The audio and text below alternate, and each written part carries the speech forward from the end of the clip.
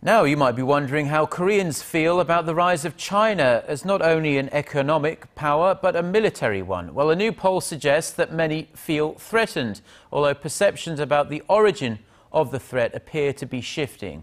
In a survey of 1,000 people conducted by the Asan Institute for Policy Studies, more than two-thirds of respondents said they felt threatened by China's military expansion.